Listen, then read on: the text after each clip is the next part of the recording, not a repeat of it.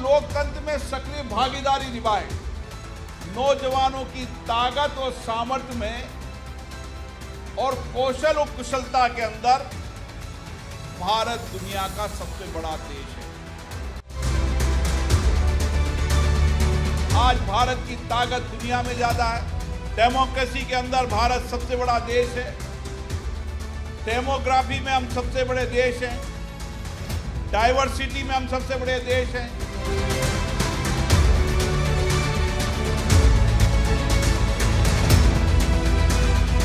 Under Bharat's G20 presidency, the world has seen that what qualities a true leader presents.